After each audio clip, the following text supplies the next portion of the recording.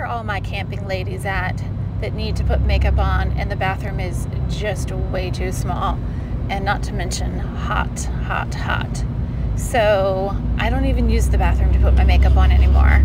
I sit at the dinette facing the window, getting some natural light with the mirror, and I go to town. So the first thing I'm doing here is spot treating. I had a few pimples and my under eye dark circles, and now I'm grabbing my melasma on the side of my face. Demis to do that. That is 03 and Y01. And then I'm moving on to some contour.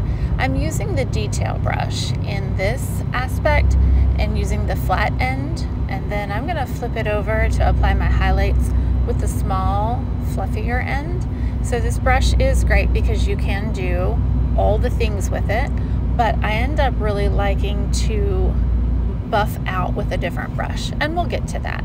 So I have got all of my highlights applied, and then I'm gonna put on some lip and cheek.